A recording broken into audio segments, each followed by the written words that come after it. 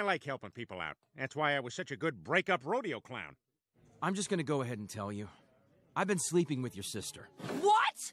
Hey now, hey now, over here, over here, over here. Hey now, hey now, over here, over here. Hey now, hey now, over here, over here.